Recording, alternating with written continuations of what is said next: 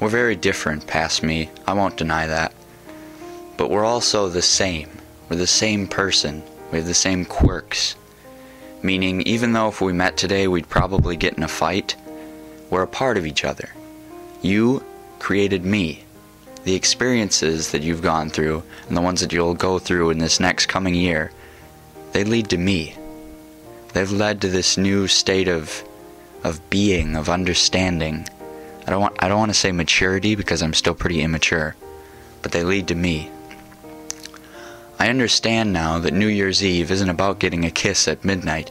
It's about spending the last day of the year with the people that you care about most.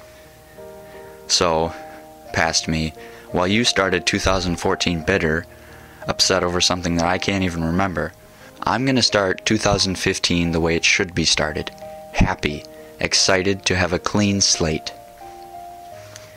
And by the way, past me, I know you've probably figured this out by now, but six hours is a long ways. I don't know what you were upset about that day, but six hours is a long ways.